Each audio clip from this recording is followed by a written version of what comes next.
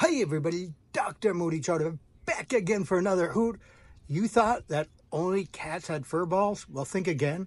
Owls cast, regurgitate pellets, owl pellets, the portions of prey that are difficult to, to digest, fur, bones, feathers form a pellet. Uh, the, the rest of the, the meat continues the digestive system. This pellet, they regurgitate through the mouth. So it's very common. Here you can see uh, in uh, a female, this female actually looks like a male regurgitating a pellet. And if you think that only adults regurgitate pellet, think again.